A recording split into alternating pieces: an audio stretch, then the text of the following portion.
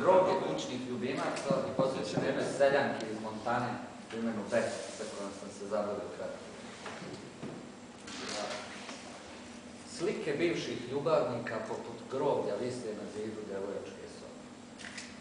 Ovo je moj bivši dečko, govorila bi unoseći se u fotografiju pohrabanu i mutnu, zakleći očima, sakčući, zagledajući me kao na kakvom. Jednom su me tucala trojica u hotelu, pričala dašćući u krevetu, zgužvanom i bijelom, zakleći očima, uzdišući, zagledajući me kao na kakvom testu.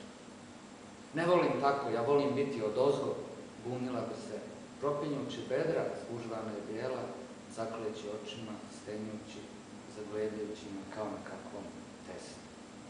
Moja fotografija kao nadgorna ploča visi na zidu.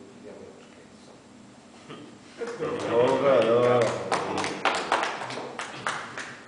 Vaš.